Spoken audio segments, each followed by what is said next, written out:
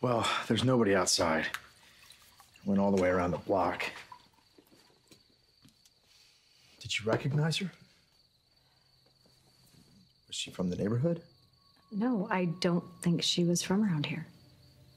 Well, she probably just went home.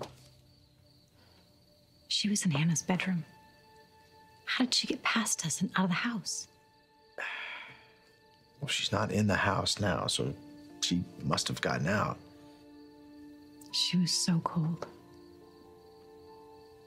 I can still feel how cold she was.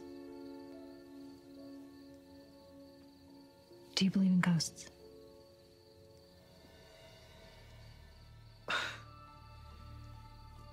I'm not supposed to.